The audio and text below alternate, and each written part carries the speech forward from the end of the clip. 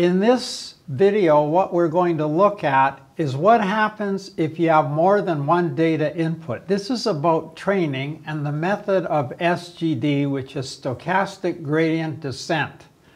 I found a wonderful HTML page that documents the basic ideas of stochastic gradient descent when you have multiple data sets and there are five different methods we're going to go over that Sebastian has outlined very well on the website given as you see it.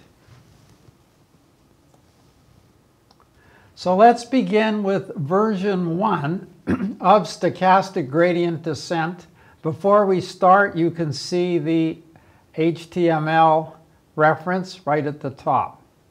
So we have multiple data. We have data x1, label y1, and so on. And we have n data sets.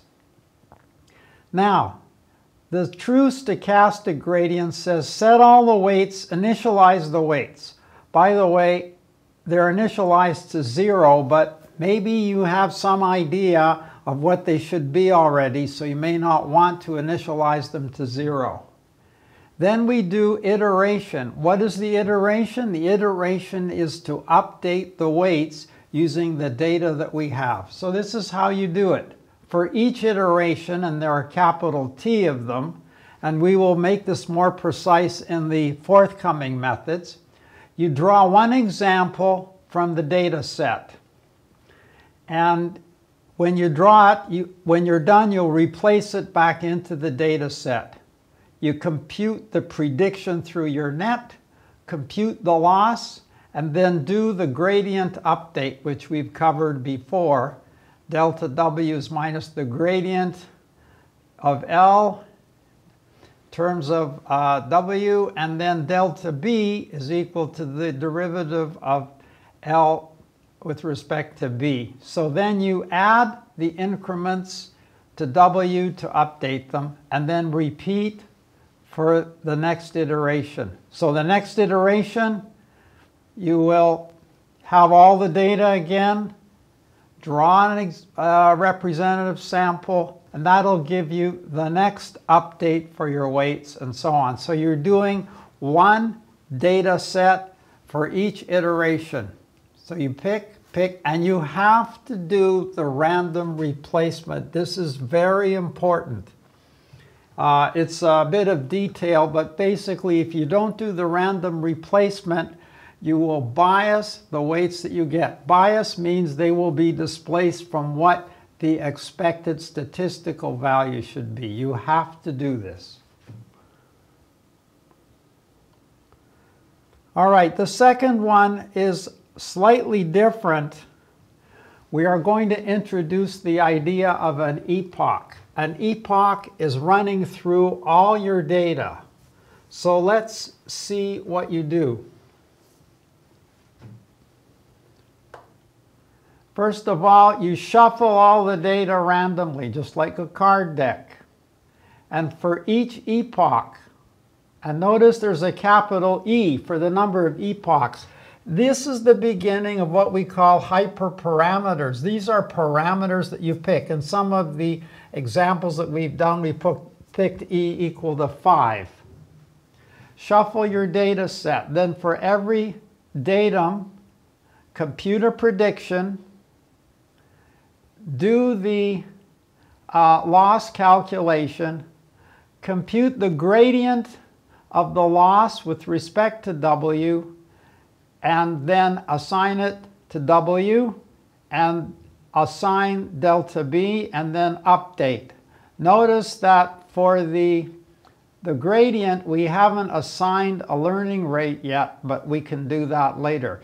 The object of this is how are you going to use all the data to train your network to obtain the weights. Remember what we're doing is we're descending the gradient to minimize the loss function when we minimize the loss function, the prediction y hat is close to the desired value y. That's the whole idea. So steps 2.25, 2.26 are going to be repeated in all these different ways of collecting all the training data in our calculation of the weights and their updates. Here's number three. For each epoch running through the data. Well, what's the most obvious way to do this?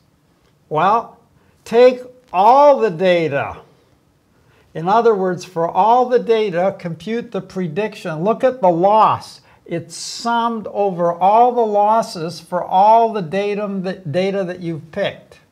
Again, we take the gradient uh, of the loss function, minus sign, same with delta B, and then we update. So the difference is in steps 2.2 and 2.3, the entire data set. Where will it fail? Well, remember what we're doing is we're repeating for each epoch the entire data set. And if the entire data set is 3 million samples, for each step in descending the gradient, you're going to have to average over 3 million losses as illustrated by step 2.3. So if your data is very large, this is not a good thing to do. So what's, what are the alternatives? Ah, so somewhere between one datum at a time and all the data. So what's, what's the solution? You break the data up into strips or batches.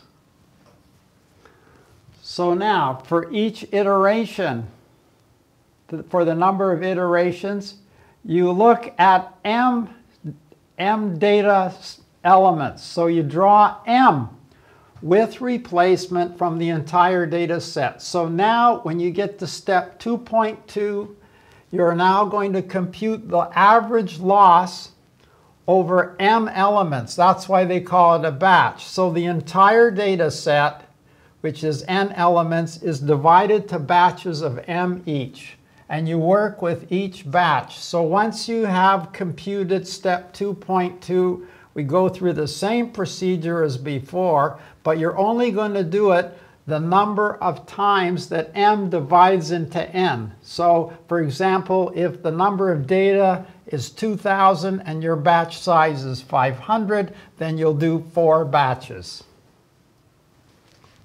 Here's a variation on that.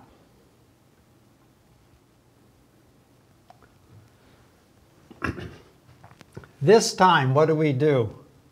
Same idea as before for each epoch. First, we shuffle the data. Then we draw a random sample for without replacement to get our batch. So you have 1 to m datum data that you're going to have in that batch. To get that batch constructed, you draw m samples from the data, but you don't put them back.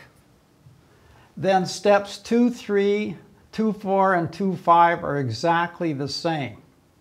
Now, the question is, which one do you use? And that depends on the situation. Normally what happens is that the mini batch with or without replacement is the preferred way to go. If you remove the replacement part, then you're always going to be picking out of the entire data set. That may take longer to train. So what we have now is a complete way of training over the entire data set using the stochastic gradient descent model. However, there are other optimizers, and we will look at the optimizers in future videos. This is the simplest one, Remember, in what's common to all these is the updates, the gradient, and the proper shuffling of the data is absolutely essential.